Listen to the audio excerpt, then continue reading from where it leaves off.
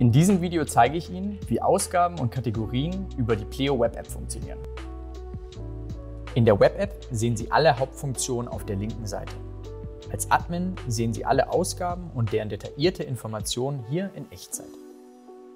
Sie können nach Ausgaben filtern und auf einen Blick sehen, ob Belege fehlen. Sie können als Admin auch individuelle Kategorien erstellen und mit entsprechenden Kontonummern versehen, um die Vorkontierung der Ausgaben zu automatisieren.